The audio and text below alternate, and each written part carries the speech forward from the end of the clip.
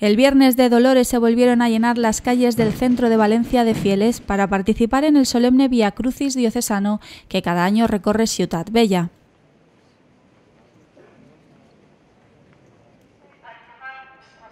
Los pasos del Santísimo Cristo de la Providencia y la Virgen Dolorosa de Alboraya fueron los encargados de representar a la Junta de Hermandades y Cofradías de la Semana Santa de la Diócesis en el recorrido.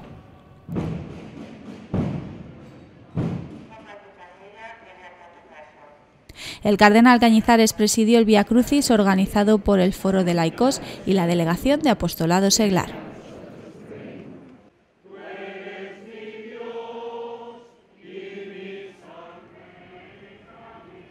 Una manifestación de fe y unidad en la oración en la que participaron diferentes entidades cristianas de la diócesis y con la que arrancan los actos principales de la Semana Santa en el centro de la ciudad.